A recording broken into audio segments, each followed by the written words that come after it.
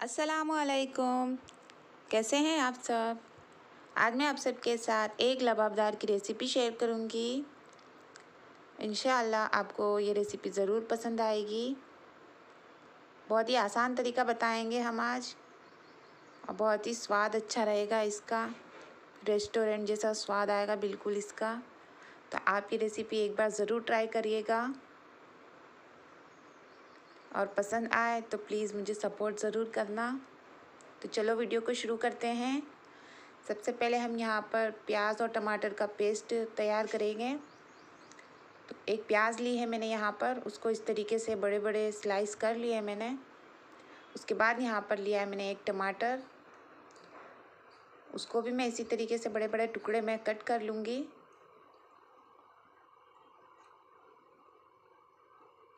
पंद्रह से बीस में काजू भिगो कर रख दी हूँ पहले से ही, थोड़े से पानी में। उसको भी हम यहाँ पर इसमें ऐड करेंगे। तो टमाटर और प्याज ऐड कर दूँगी मैं यहाँ पर इसमें मिक्सी में। और इसको रखने के बाद यहाँ पर फिर मैंने वो जो काजू भिगोए थे ना, वो काजू यहाँ पर इसमें पानी निकालने के बाद ऐड कर दूँगी। और इसका हम यहाँ पर एक पेस्ट तैयार करेंगे। पीस लेंगे हम इसको। तैयार है ये अब। अब हम यहाँ पर ग्रेवी बनाएँगे। तो एक लबाबदार बनाएँगे हम तो इसके लिए इस तरीके की चौड़ी कढ़ाई या फिर चौड़ा बर्तन ही हमको लेना है। क्योंकि इसमें स्पेस थोड़ा ज़्यादा चाहिए, इसलिए ऑयल ऐड कर दिया यहाँ पर मैंने इसमें और ऑयल गर्म हो जाएगा। तो इसमें मैं यहाँ पर तेज़ पत्ता ऐड कर दूँगी। इसको कुछ देर फ्राई होने देंगे हम और उसके बाद मैं यहाँ पर अदरक लहसुन का पेस्ट ऐड कर दूँगी। गैस यहाँ पर हम बिल्कुल धीमी रखेंगे। इसको हम अच्छे से मिक्स कर लेंगे।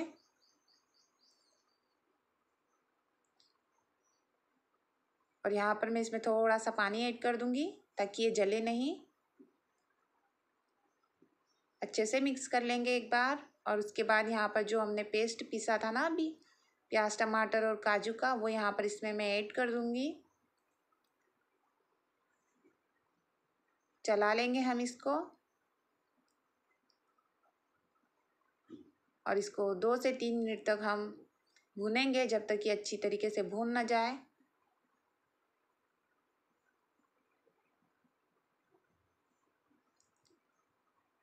धीमी आँच पर हम इसको भून लेंगे।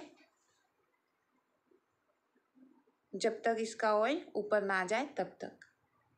चलाते रहेंगे क्योंकि इसमें काजू डली हुई है तो वो बहुत जल्दी चिपकती है। तो जल सकता है हमारा मसाला, इसलिए हम यहाँ पर चलाते रहेंगे और इसको भून लेंगे।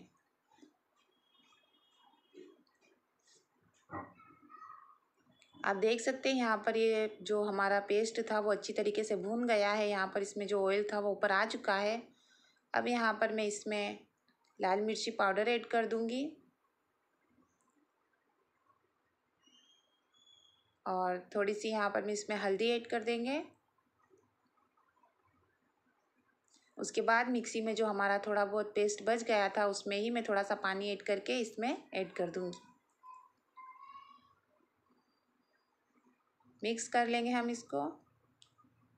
और अब हम इस मसाले को भून लेंगे धीमी आँच पर ही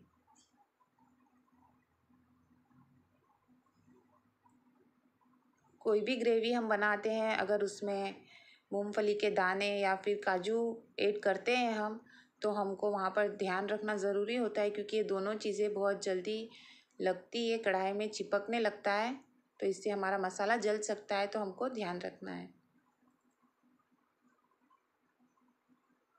चलाते रहेंगे हम और मसाले को भून लेंगे।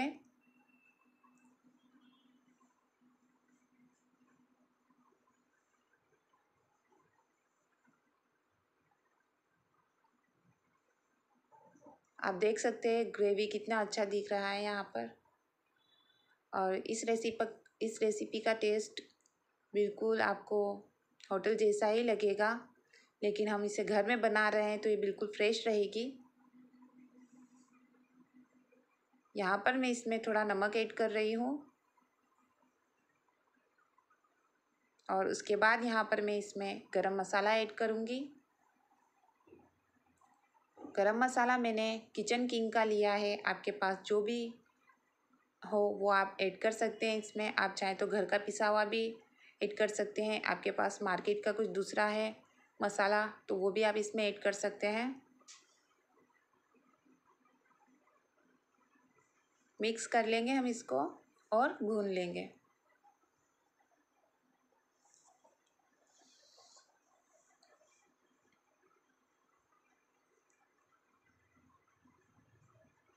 मैं आपके लिए हर रोज़ न्यू न्यू रेसिपी लेकर आती हूँ तो प्लीज़ आप मुझे सपोर्ट करते रहना।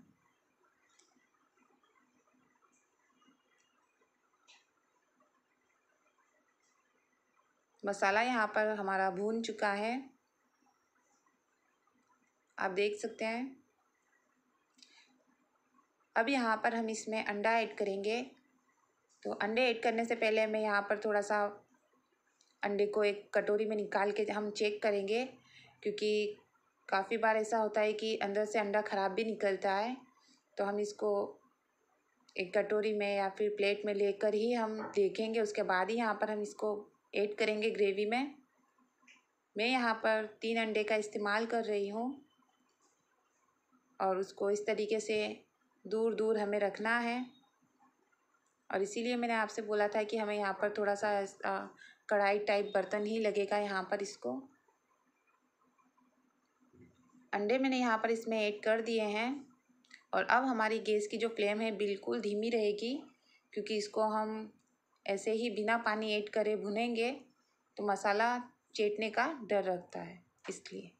काली मिर्ची का पाउडर यहाँ पर मैं अंडे के ऊपर ऐड कर दूँगी। उसके बाद बिल्कुल थोड़ा थोड़ा सा नमक ऐड कर देंगे, क्योंकि मसाले में मैंने पहले भी नमक ऐड कर दिया है।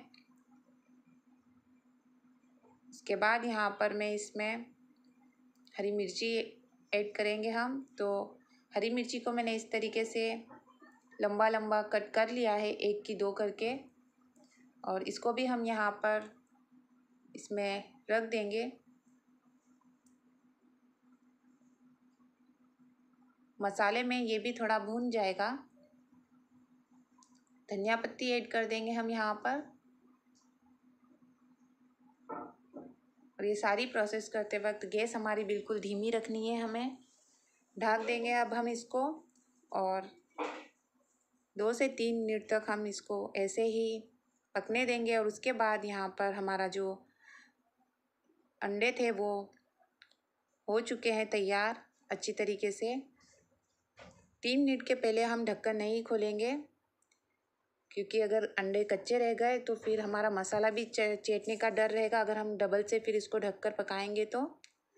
और यहाँ पर है, जो है लाइट चली गई थी, इसलिए मैं मोबाइल के फ्लैश से ही ये रिकॉर्ड कर रही हूँ। आप देख सकते हैं यहाँ पर।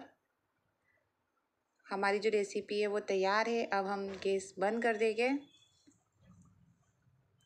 एक प्लेट में हम यहाँ पर सर्व कर लेते हैं।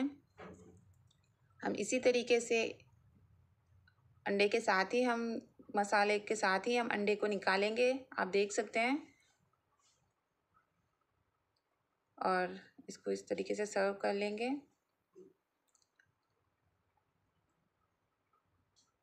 मैंने यहाँ पर तीन अंडे का ही इस्तेमाल किया है। ग्रेवी हम इसमें रख देंगे थोड़ा।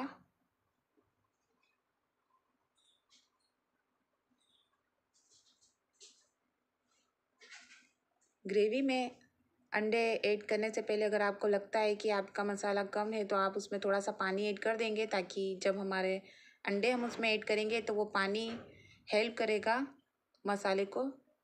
चेटने नहीं देगा। एक लबाबदार बनकर तैयार है बहुत आसान तरीका बताया है मैंने और आपको बहुत पसंद आने वाली है रेसिपी अगर आप एक बार बना लेंगे ना तो आप इसे बार बार बनाएँगे। तो प्लीज़ आप ये रेसिपी एक बार ज़रूर ट्राई करिएगा मेरे कहने पर। और अगर आपको ये पसंद आए प्लीज़ आप लाइक कर देना। शेयर कर सकते हो आप अपनी फैमिली में। और अगर आप न्यू हैं तो प्लीज़ मुझे सपोर्ट करना, मेरे चैनल को सब्सक्राइब कर देना। आप ऐसे ही मुझे सपोर्ट करते रहो, मैं आपके लिए न्यू न्यू रेसिपी लेकर आती रहूँगी। इन